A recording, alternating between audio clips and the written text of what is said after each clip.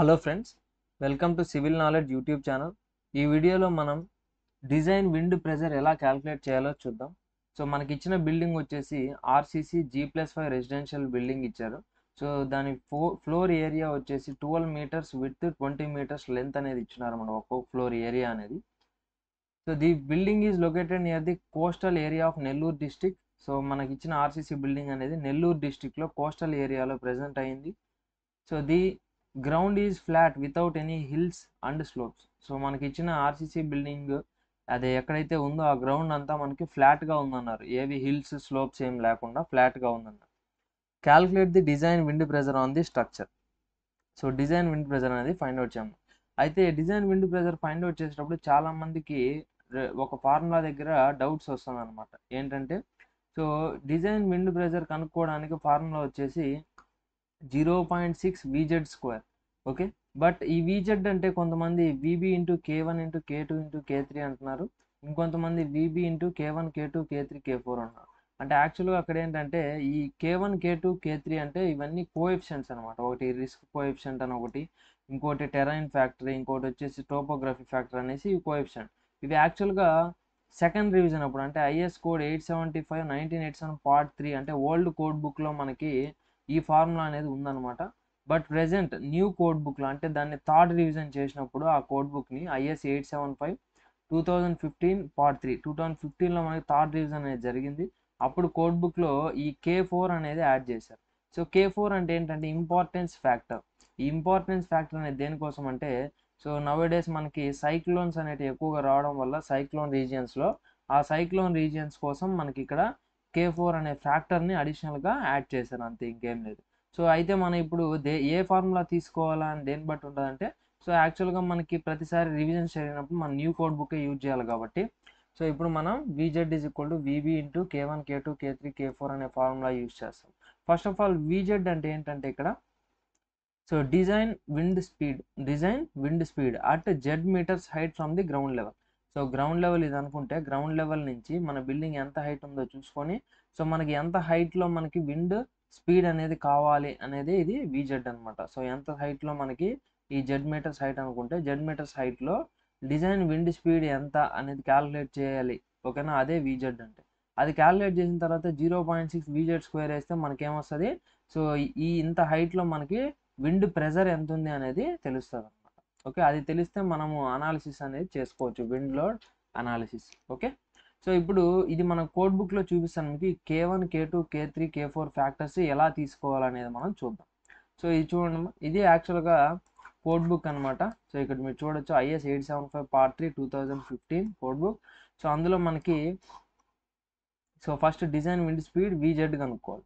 So design wind speed విజెడ్కి formula వచ్చేసి K one K two K three K four into V B so here V B means basic wind speed basic wind speed in metres per second so ఈ basic wind speed అనేది first మనం calculate చేయాలి. ఎక్కడి నుంచి calculate చేయాలంటే so మనకి ఈ map ఒకటి ప్రొవైడ్ చేస్తున్నారనమాట same code book IS eight seven ఫైవ్లో ఈ మ్యాప్ అనేది ఇస్తున్నారు. వీటిలో ఏంటంటే మన టోటల్ ఇండియాలో ఉండే ఏరియాస్ని ఏవైతే డిస్ట్రిక్ట్స్ కానీ స్టేట్స్ వీటిని మనకి ఏం చేశారంటే different zones so depending upon their wind condition different జోన్స్గా divide చేశారు. ఇప్పుడు మనకి నెల్లూరు డిస్టిక్లో బిల్డింగ్ ఉందని మెన్షన్ చేశారు కాబట్టి సో నెల్లూరు ఇక్కడ ఉంది. సో నెల్లూరు డిస్టిక్లో మనకి ఏ జోన్ వస్తుందంటే ఇక్కడ చూడండి ఆరెంజ్ కలర్ ఉంది కదా. సో నెల్లూరులో మనకి so same colour this is orange colour. So మనకి నెల్లూరు డిస్టిక్లో లైట్ ఆరెంజ్ అనమాట. ఇది మరీ థిక్ ఆరెంజ్ వచ్చేస్తుంది. సో ఈ light orange colour Nellore district so ఇక్కడ మనకి basic wind speed basic wind speed in metres per second. ఎంత ఇచ్చారంటే ఫిఫ్టీ. ఓకే. సో మనకి విబి అనేది ఈ విధంగా చూసుకోవాలన్నమాట ఈ మ్యాప్ ద్వారా. Okay so first V B is equal to design sorry basic wind speed mean metres per second that is per hour Nellore district that is fifty metres per second so Nellore district అని ఇక్కడ mention చేశాను మా క్లియర్గా okay next so next K one K one means probability or risk coefficient so probability factor or risk coefficient so ఈ K one అనేది ఎలా find out చేయాలో ఇక్కడ చూడండి.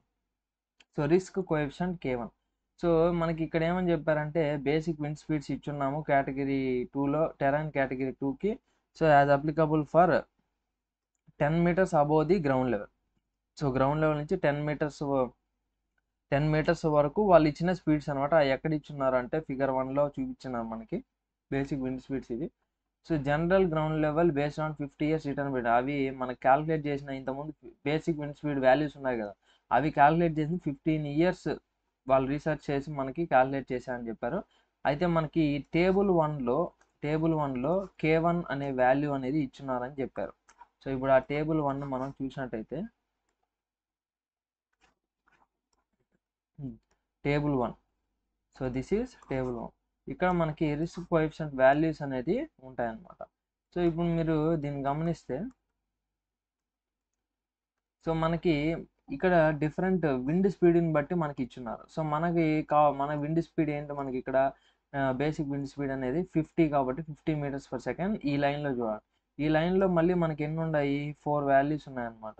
సో వాటిలో ఏది తీసుకోవాలంటే so building building type of building చూడండి. All general buildings and structures.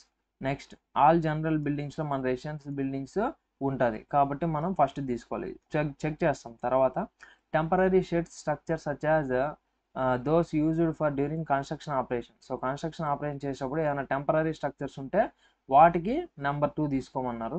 Buildings and structures presenting a low degree of hazard of life and property in event of fail such isolated towers in wood areas so ఏదన్నా మనకి would would areas అంటే ఫారెస్ట్లో ఫారెస్ట్లో ఏదన్నా మనకి towers లాగా okay form houses ఇవన్నీ ఉంటే వాటికి మనకి so farm buildings other than residential buildings అన్నారు. సో ఇది రెసిడెన్షియల్ బిల్డింగ్స్ కాదనమాట. సో ఏదైనా ఫామ్ హౌసెస్ ఎక్కడన్నా మనకి ఎక్కువ ట్రీస్ మధ్యలో ఉంటే టవర్స్ వాటికి ఇది. Next important buildings such as and structure such as hospitals.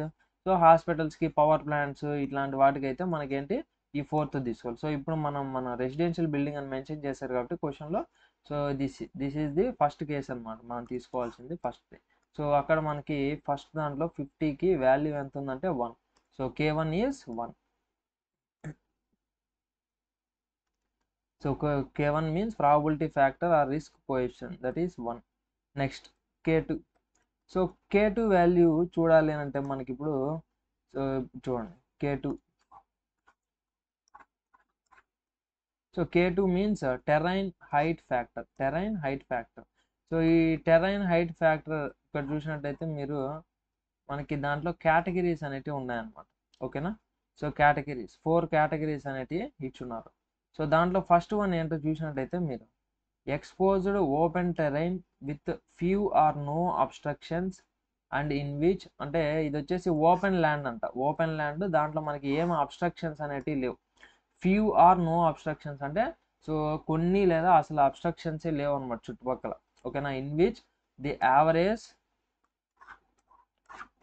in which the average so మనకి కేటగిరీ వన్ అనేది ఇంకా కొంచెం ఇక్కడ ఉంది చెప్పిన మిస్ అయింది.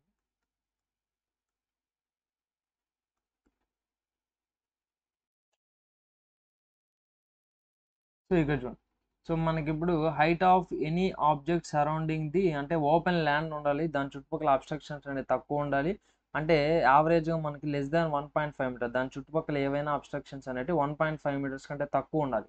అంటే ఊహించుకోండి వన్ పాయింట్ ఫైవ్ మీటర్స్ కంటే తక్కువ అంటే మన బిల్డింగే పెద్దది ఇక్కడ ఇంకా చుట్టుపక్కల ఏమీ లేవు. సో అలా ఉంటే మనకి దాన్ని ఏమంటామంటే కేటగిరీ వన్ అంట. బట్ కేటగిరీ టూ అంటే ఓపెన్ టెరైన్ సో ఇది కూడా same open land with well scattered obstructions so ఇప్పుడు ఏమంటాయంటే మనకి చుట్టూ అబ్స్ట్రక్షన్స్ అనేటివి ఉన్నాయి.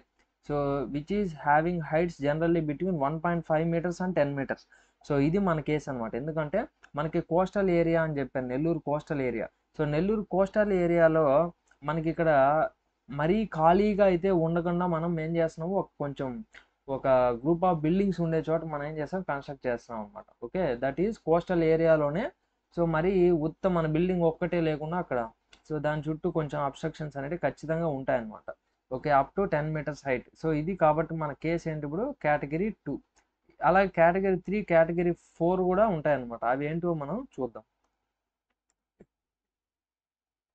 సో కేటగిరీ త్రీ చూసినట్టయితే మీరు terrain with numerous closely spaced obstructions having the size of building structures up to ten metres in height so ఇది వచ్చేసి closely spaced closely spaced obstructions అనేటివి మనకు ఉంటాయి so up to ten metres height వరకు ఉంటాయి. So or without a few isolated tall structure so అంటే with or without అంటే ten మీటర్సే కాకుండా ఇంకా ఏమన్నా టాల్ స్ట్రక్చర్స్ అనేవి ఉండొచ్చు ఉండకపోవచ్చు అనమాట ఓకే ఇది మనకి కేటగిరీ త్రీ అనమాట okay next category four category four ఏంటంటే so terrain with numerous large closely spaced obstructions the equivalent aerodynamic roughness height so ఇది వచ్చేసి మనకి లార్జ్ న్యూమరస్ ఎక్కువ చాలా క్లోజ్లీ స్పేస్ అంటే అసలు గ్యాపే లేకుండా దగ్గర దగ్గర బిల్డింగ్స్ అనేటివి ఉంటాయి హై రైజ్ బిల్డింగ్స్ అనేవి ఓకేనా? సో అది మనకి కేటగిరీ ఫోర్. అయితే మనకి కేటగిరీ ఏంటి ఇప్పుడు? Category two. ఇప్పుడు ఆ కేటగిరీ టూ అనేది మనకి తెలిసింది కదా? సో దాన్ని బట్టి మనం ఏం క్యాలిక్యులేట్ చేస్తామంటే ఇక్కడ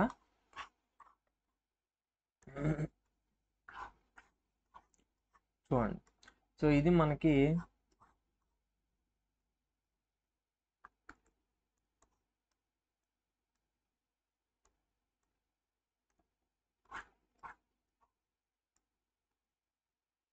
సో టేబుల్ నెంబర్ టూలో వాల్యూస్ అనేటివి ఉన్నాయి చూడండి. ఇక్కడ చూసినట్టయితే సో దట్ ఈజ్ ఇది దేనికంటే మనకి కే టూ ఫ్యాక్టర్ కోసం. సో మన టెరైన్ కేటగిరీ ఏంటి అంటే దిస్ కేటగిరీ టూ ఇందాకే చూసాం. అండ్ మన బిల్డింగ్ హైట్ చూడండి ఇప్పుడు టెరైన్ కేటగిరీ టూలో హైట్ ఆఫ్ ది బిల్డింగ్ బట్టి సో ఈ జెడ్ అంటే ఏంటది? Height of the building so మనకి టెన్ మీటర్స్ హైట్ దగ్గర సో టెన్ మీటర్స్ హైట్ దగ్గర కే టూ ఫ్యాక్టర్ ఎంత తీసుకోవాలి అని అంటే మనం సో మనకి కే టూ ఫ్యాక్టర్ వచ్చేసి వన్ తీసుకోవాలి. అలాగే ఫిఫ్టీన్ మీటర్స్ హైట్ దగ్గర వన్ పాయింట్ జీరో ఫైవ్ ఇప్పుడు మనకి ఇచ్చింది జీ ప్లస్ ఫైవ్ బిల్డింగ్ కదా. సో జీ ప్లస్ ఫైవ్ అంటే గ్రౌండ్ ప్లస్ ఫైవ్ మొత్తం six floors so six into so మన హైట్ ఫ్లోర్ ఫ్లోర్ హైట్ అనేది అప్రాక్సిమేట్గా మనం ఒక త్రీ మీటర్స్ వేసుకున్నా కూడా మనకి ఏమొస్తుంది అంటే సిక్స్ త్రీ జా eighteen so eighteen metres height అనేది వచ్చింది. ప్లస్ పైన ఒక టూ మీటర్స్ అనేది మన స్టేర్ కేస్ హెడ్ రూమ్కి దేనికైనా తీసుకుంటే టోటల్గా మనకి ఎంత ఉంటుంది ట్వంటీ మీటర్స్. సో అటు ట్వంటీ మీటర్స్ హైట్ మనకి వాల్యూ ఎంత? One point zero seven. K two అనే value one point zero seven. అట్లా మీకు ఇప్పుడు ఏ హైట్ దగ్గర కావాలి? ఫిఫ్టీన్ మీటర్స్ హైట్ దగ్గర మనకి బేసిక్ అదే డిజైన్ విండ్ స్పీడ్ వీజెడ్ అనేది ఫిఫ్టీన్ మీటర్స్ దగ్గర కావాలంటే మీరు ఇది తీసుకోవాలి. నెక్స్ట్ అలాగే ఎయిటీన్ మీటర్స్ దగ్గర కావాలంటే ఇక్కడ ఎయిటీన్ అనే వాల్యూ లేదు హైట్. కాబట్టి ఫిఫ్టీన్కి ట్వంటీకి వాల్యూస్ తీసుకొని మనం ఏం చేయాలంటే ఇంటర్పోలేషన్ చేసి మధ్యలో ఎయిటీన్ వాల్యూకి ఎంత వస్తుంది అనేది క్యాలిక్యులేట్ చేసుకోవాలి. ఈ కే టూ వాల్యూ అనేది. అయితే ఇప్పుడు మన బిల్డింగ్కి నేను నేను ట్వంటీ మీటర్స్ హైట్ దగ్గర ఎంత ప్రెజర్ ఉంటుంది అనేది చూస్తున్నాను అనమాట సో ట్వంటీ మీటర్స్ హైట్ దగ్గర ప్రెజర్ ఎంతో కనుక్కుంటున్నా డిజైన్ విండ్ ప్రెజర్. కాబట్టి ట్వంటీ మీటర్స్ హైట్ దగ్గరే మనం ఏం కనుక్కోవాలి? వీజెడ్ కనుక్కోవాలి. సో వీజెడ్ అంటే ఏంటి? Design wind speed. సో ఇప్పుడు ట్వంటీ మీటర్స్ హైట్ దగ్గర డిజైన్ విండ్ స్పీడ్ కనుక్కోవాలంటే మన కే టూ వాల్యూ కూడా దేనికి తీసుకోవాలా? Twenty metres height. So that is one point zero seven K two one point zero seven and K three so ఇప్పుడు K three value so K three అనేది దేన్ని బట్టి depend అయి ఉంటుందంటే ఇక్కడ చూడండి.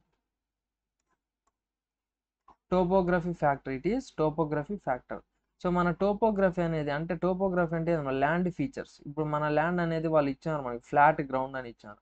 సో ఫ్లాట్ గ్రౌండ్ కాకుండా యాక్చువల్గా మనకి స్లోప్ ఏరియా లాగా ఉంటే మనకి విండ్ కూడా ఏమవుతుంది అప్ విండ్ స్లోప్ అనేది చేంజ్ అవుతుంది సో అప్ విండ్ స్లోప్ అనేది త్రీ డిగ్రీస్ కంటే ఎక్కువ ఉంటే అప్పుడు మనకి ఏమైందంటే వన్ నుంచి వన్ పాయింట్ త్రీ సిక్స్ మధ్యలో ఆ యాంగిల్ బట్టి మారుతుంది అనమాట బట్ ఇక్కడ మనకి the value of K three may be taken to be equal to one. So ఎందుకంటే మనకి స్లోప్ అనేది ఏం లేదు కాబట్టి మనం వన్ తీసుకోవచ్చు అనమాట okay? So K three topography factor is one. Next last and final K four. That is importance factor okay so K four means importance factor for cyclone region so cyclone రీజన్స్కి మాత్రమే K four అనేది తీసుకోవాలి మనం. ఇప్పుడు కే four cyclone రీజనా కాదా అని ఎలా తెలుస్తుంది అంటే మనకి వాళ్ళు ఇచ్చున్నారనమాట డీటెయిల్గా కొంచెం so important factor for cyclone region so cyclone రీజియన్కి మాత్రమే కే ఫోర్ అనే వాల్యూ అనేది యూస్ చేయాలి.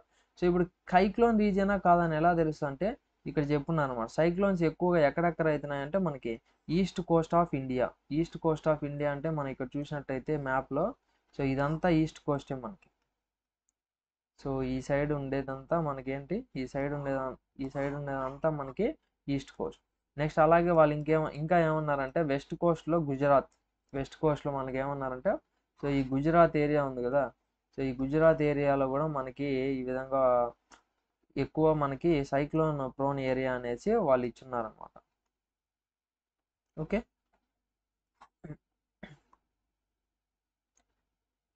ఓకే. సో అయితే ఇప్పుడు మనకేంటంటే దాంట్లో వాళ్ళు ఏమన్నారంటే సో మన సైక్లోన్ అంటే మన సైక్లోన్స్ వచ్చేది మనం చూసాం కోస్టల్ ఏరియాస్లో అని చెప్పినాం. ఈస్ట్ కోస్ట్లో ఖచ్చితంగా సైక్లోన్ రీజన్ అన్నారు కాబట్టి మన సిచ్యువేషన్ మన లొకేషన్ ఏంటి? నెల్లూరు డిస్టిక్ నెల్లూరు డిస్టిక్ అనేది కంపల్సరీగా ఎక్కడ ఉంది మనకి? కోస్టల్ ఏరియాలో ఉంది. సో కోస్టల్ ఏరియాలో ఉంది కాబట్టి సో వా- ఖచ్చితంగా సైక్లోన్ రీజన్ కిందకి వస్తుంది. కే ఫోర్ ఫ్యాక్టర్ అనేది తీసుకోవాలి. అయితే ఇప్పుడు ఈ కే ఫోర్ ఫ్యాక్టర్ అనేది ఎప్పుడు తీసుకోవాలంటే మన బిల్డింగ్ అనేది కోస్టల్ ఏరియా నుంచి సిక్స్టీ కిలోమీటర్స్ ఎక్స్టెంట్లో ఉండాలి. సిక్స్టీ కిలోమీటర్స్ లోపల ఉంటే కనుక మనకి ఏంటంటే అది కో అది సైక్లోన్ రీజన్ కిందకి వస్తుంది. సో కోస్టల్ ఏరియా నుంచి సిక్స్టీ కిలోమీటర్స్ విత్ లోపలనే మనకి బిల్డింగ్స్ అనేవి మన బిల్డింగ్ లొకేట్ అయ్యింటే ఖచ్చితంగా మనకు వస్తుంది. ఇప్పుడు మన కోస్టల్ ఏరియాలో ఉన్నాం కాబట్టి ఖచ్చితంగా మనకి ఏమొస్తుంది కోస్ట్ దగ్గర. అంటే సిక్స్టీ కిలోమీటర్స్ అంత దూరం పోదు మన బిల్డింగ్ అనేది కోస్టల్ ఏరియాలోనే ఉంటుంది కాబట్టి సైక్లోన్ రీజన్ కిందకి వస్తుంది. సో కాబట్టి కే ఫోర్ ఫ్యాక్టర్ అనేది క్యాలిక్యులేట్ చేయాలి. సో ఈ విధంగా క్యాలిక్యులేట్ చేయాలి. సో త్రీ వాల్యూస్ ఇచ్చున్నారు కే. ఫోర్కి depending upon the structure type so ఇప్పుడు ఏమన్నారంటే first structures of post cyclone importance అంటే సైక్లోన్ వచ్చి వెళ్ళిపోయిన తర్వాత సో కొన్ని ఇంపార్టెంట్ స్ట్రక్చర్స్ ఉంటాయి such as hospitals schools okay emergency services ఉండే బిల్డింగ్స్. అలాంటివి అయితే కమ్యూనికేషన్ టవర్స్ ఇలాంటివి. వాటికైతే ఎంత తీసుకోవాలన్నారు? One point three. ఇప్పుడు మనం కట్టేది హాస్పిటల్ బిల్డింగా కాదు స్కూల్ బిల్డింగా కాదు ఏదైనా కమ్యూనికేషన్ టవర్సా కాదు. సో ఏదైనా ఇంపార్టెంట్ అదర్ ఇంపార్టెంట్ స్ట్రక్చరా కాదు. సో కాబట్టి మనం ఇది తీసుకోకూడదు అనమాట ఈ కేసు తీసుకోకూడదు. నెక్స్ట్ ఇండస్ట్రియల్ స్ట్రక్చర్ మనం కట్టేది ఇండస్ట్రియల్ స్ట్రక్చరా కాదు. సో అదర్ ఆల్ స్ట్రక్చర్స్ అంటే రెసిడెన్షియల్ బిల్డింగ్స్ కమర్షియల్ ఇవి ఇక్కడ వస్తాయి సో ఇప్పుడు మనకి వన్ తీసుకోవాలన్నమాట. సో ఎందుకంటే మన రెసిడెన్షియల్ బిల్డింగ్ అనేది ఆల్ అదర్ స్ట్రక్చర్స్లో ఇంక్లూడ్ అయింది కాబట్టి వన్ తీసుకోవాలి. సో కే ఫోర్ ఫ్యాక్టర్ కూడా మనకి ఏమైపోయింది వన్ సో ఇప్పుడు మనం ఇవన్నీ క్యాల్కులేట్ చేస్తే therefore V Z is equal to so V B that is fifty into K one one into K two one point zero seven into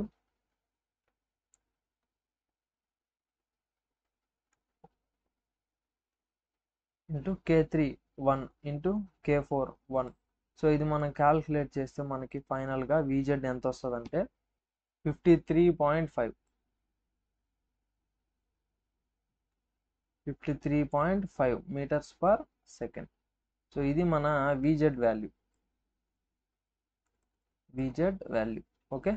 So ఇప్పుడు మనం ఏం చేయాలంటే zero point six therefore design wind pressure pz is equal to 0.6 into vz square. Vz is 53.5 whole square so మనకి P Z value ఎంత వస్తుంది అంటే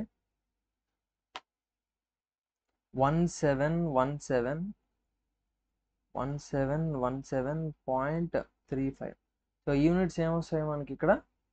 Newton per metre square newton per metre square so అదే మనకి కిలో న్యూటన్ పర్ మీటర్ స్క్వేర్లో కావాలంటే therefore P Z is equal to so kilo newtons per metre స్క్వేర్లో కావాలంటే మనం ఏం చేయాలమ్మా డివైడ్ బై థౌజండ్ సో వచ్చేసి మనకి ఏమొస్తుంది అంటే one point seven one seven kilo newton per metre square. So this is the design wind pressure at a height of Z is equal to twenty metres so twenty metres హైట్లో మనకి design wind pressure అనేది so one point seven one seven kilometre per metre square. So ఇది వాళ్ళు అడిగిన క్వశ్చన్కి answer అనమాట okay design wind pressure answer. So ఈ విధంగా మనం డిజైన్ విండ్ ప్రెజర్ వచ్చిన తర్వాత నెక్స్ట్ ఏం చేయొచ్చుమా? ఈ డిజైన్ విండ్ ప్రెజర్ని తీసుకునేసి మనము స్టాట్ ప్రోలో కానీ ఎక్కడైనా మనకి అవసరమైన చోట యూస్ చేసుకోవచ్చు. Okay design wind pressure. ఎందుకంటే for wind load analysis. Okay? So ఈ వీడియోకి ఇంతే. సో మనం మీకు కానీ ఈ వీడియో నచ్చినట్టయితే మీ ఫ్రెండ్స్కి ఓకే? మీ ఫ్యామిలీ మెంబర్స్కి షేర్ చేయండి. సో మన ఛానల్కి సబ్స్క్రైబ్ చేసుకోవడం మర్చిపోద్దండి thank you for watching this video.